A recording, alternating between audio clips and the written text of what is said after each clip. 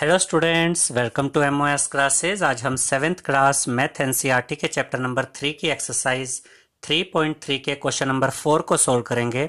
Fourth question में हमसे कहा गया students the performance of a student in first term and second term is given यानी कि हमें एक स्टूडेंट के फ़र्स्ट टर्म और सेकेंड टर्म के मार्क्स दिए गए हैं और उसके बाद हमसे कहा गया है draw a double bar graph choosing appropriate scale and answer the following और इसी डाटा का यूज़ करके हमें एक डबल बार ग्राफ बनाना है और हमसे यह भी कहा गया है कि हमें अप्रोप्रिएट स्केल चूज़ करना है। यानी कि नंबर्स में जो हम गैप लेंगे, वो भी हमें चूज़ करना है।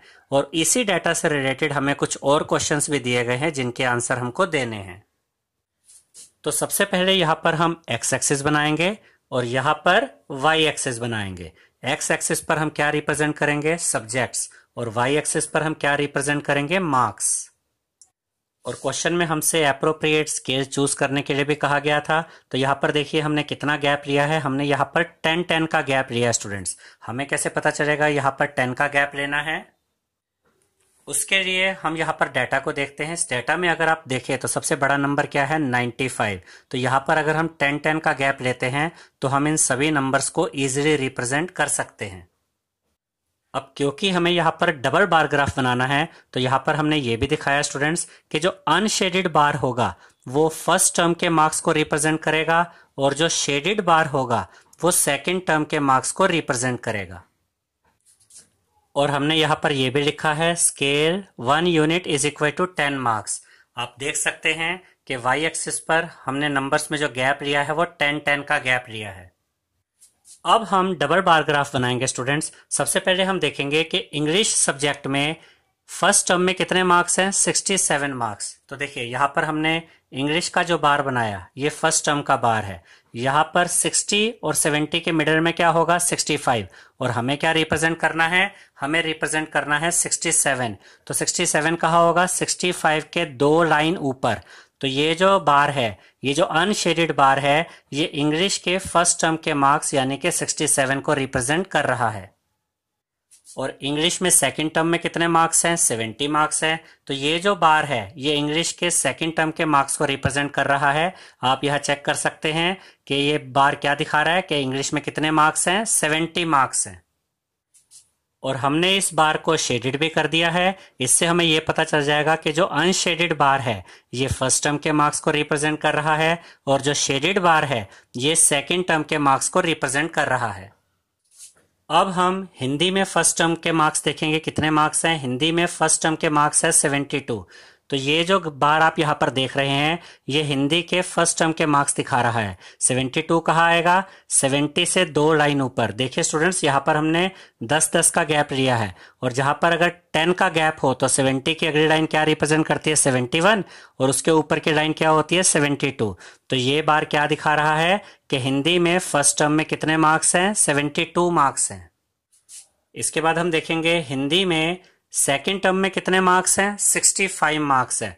तो यहाँ पर ये बार जो आप देख रहे हैं, ये हिंदी के सेकेंड टर्म के मार्क्स दिखा रहा है 65 65 कहाँ आएगा? 60 और 70 के मिडल में। तो यहाँ पर देखिए 60 70 और 60 और 70 के मिडल में ये रिप्रेजेंट कर रहा है 65 को। और इस बार को हमने शेड भी कर दिया है। ये वाला बार दिखा रहा है कि हिंदी में फ़र्स्ट टर्म में कितने मार्क्स हैं और ये बार दिखा रहा है कि हिंदी में सेकेंड टर्म में कितने मार्क्स हैं। तो हिंदी के फ़र्स्ट टर्म में मार्क्स थे 72 जो यहाँ पर हमने रिप्रेजेंट कर दिया, और हिंदी में सेकंड टर्म में कितने मार्क्स थे? 65 जो 60 और 70 के मिडल में यहाँ पर हमने रिप्रेजेंट कर दिया। इसके बाद हम देखेंगे मैथ्स में फ़र्स्ट टर्म में कितने मार्क्स है? 88 मार्क्स है। तो ये जो बार आप यहाँ पर देख रहे हैं, ये मैथ्स के फ़र्स्ट टर्म के मार्क्स यानी 88 को रिप्रेजेंट कर रहा है। 88 कहाँ आएगा? देखिए 90 से दो नंबर नीचे।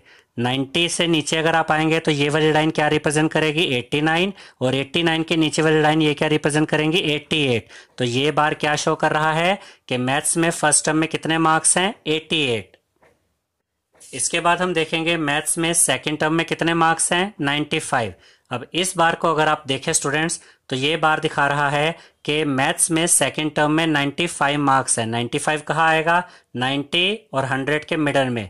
तो 90 और 100 के मिडल में, यहाँ पर ये बार दिखा रहा है कि मैथ्स में सेकेंड टर्म में 95 मार्क्स है और ये जो सेकेंड टर्म के मार्क्स है, इसको हमने इस बार को शेड करके भी दिखा दिया है।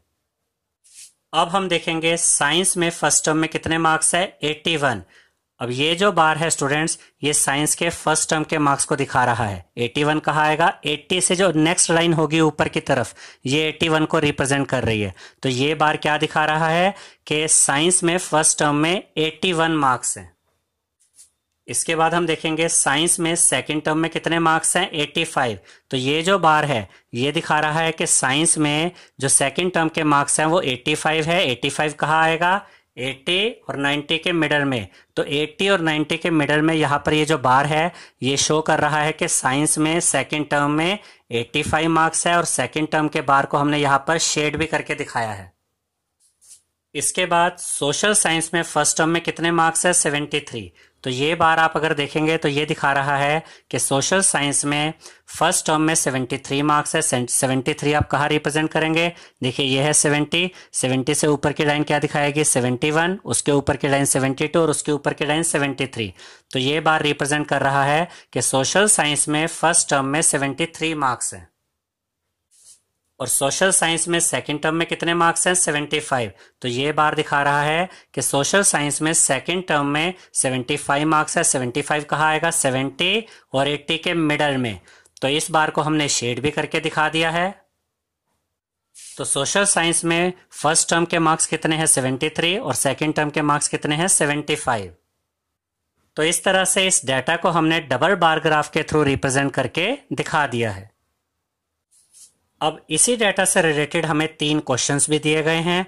फ़र्स्ट क्वेश्चन है in which subject has the child improved his performance the most यानी कि किस सब्जेक्ट में बच्चे ने सबसे ज़्यादा इंप्रूवमेंट किया है? अब यहाँ पर आप देख सकते हैं स्टूडेंट्स इंग्लिश में फ़र्स्ट टर्म में 67 मार्क्स थे और सेकंड टर्म में कितने हुए? 70 मार्क्स तो कितना इंप्रूवमेंट हुआ? थ्री मार्क्स का। हिंदी में तो यहाँ पर परफॉर्मेंस डाउन गई है तो यहाँ तो कोई इंप्रूवमेंट हुआ ही नहीं। पहले सेवेंटी टू थे, उसके बाद सिक्सटी फाइव हो गए तो कम हो गए। मैथ्स में देखिए फ़र्स्ट टर्म में एट्टी एट मार्क्स थे सेकेंड टर्म में नाइन्टी फाइव मार्क्स आए। तो यहाँ कितनी इंप्रूवमेंट हुई? सेवन मार्क्स की। साइंस में फ़र्स्ट टर्म में 81 मार्क्स थे, सेकंड टर्म में 85 मार्क्स थे तो कितनी इंप्रूवमेंट हुई? फोर मार्क्स की। सोशल साइंस में फ़र्स्ट टर्म में 73 मार्क्स थे, सेकंड टर्म में 75 मार्क्स थे तो यहाँ कितनी इंप्रूवमेंट हुई? टू मार्क्स की। तो अब हम इजीली चेक कर सकते हैं कि सबसे ज़्यादा इंप्रूवमेंट हुई है मैथ्स में। फ़र्स्ट टर्म में 88 मार्क्स थे और सेकंड टर्म में 95 मार्क्स यानी कि यहाँ पर सेवन मार्क्स की इंप्रूवमेंट हुई है। तो हम यहाँ पर आंसर में लिखेंगे मैथ्स यानी कि इस स्टूडेंट ने सबसे ज़्यादा जो इम्प्रूवमेंट किया है वो मैथ्स सब्जेक्ट में किया है। इसके बाद सेकंड क्वेश्चन में हमें दिया गया है in which subject is the improvement least यानी वो कौन सा सब्जेक्ट है जिसमें इम्प्रूवमेंट सबसे कम हुई है? तो यहाँ पर हम इजीली देख सकते हैं, सबसे कम इम्प्रूवमेंट हुई है सोशल साइंस में। फ़र्स्ट टर्म में 73 मार्क्स थे सेकेंड टर्म में 75 मार्क्स आए। यानी कि टू मार्क्स की इंप्रूवमेंट हुई जो सबसे कम इम्प्रूवमेंट है। तो यहाँ पर हम लिखेंगे सोशल साइंस यानी सोशल साइंस ही वो सब्जेक्ट है जिसमें सबसे कम इम्प्रूवमेंट हुई है। थर्ड क्वेश्चन में हमसे कहा गया है has the performance goes down in any subject क्या कोई ऐसा सब्जेक्ट भी है जिसमें परफॉर्मेंस कम हुई है, यानी परफॉर्मेंस फ़र्स्ट टर्म के मुकाबले सेकेंड टर्म में खराब हुई है? तो यहाँ पर आप चेक कर सकते हैं स्टूडेंट्स हिंदी में फ़र्स्ट टर्म में 72 मार्क्स थे और सेकेंड टर्म में कितने मार्क्स आए? 65 मार्क्स यानी यहाँ पर तो इम्प्रूवमेंट नहीं हुई, बल्कि यहाँ तो रिज़ल्ट डाउन गया है। तो यहाँ पर हम क्या लिखेंगे? हिंदी। इसका मतलब यह है कि हिंदी वो सब्जेक्ट है जिसमें जो परफॉर्मेंस है वो डाउन हुई है। आई होप स्टूडेंट्स आपको हमारा ये वीडियो पसंद आया होगा। अगर आपको हमारा ये वीडियो पसंद आया है तो इसे लाइक शेयर और सब्सक्राइब कीजिए। Thank you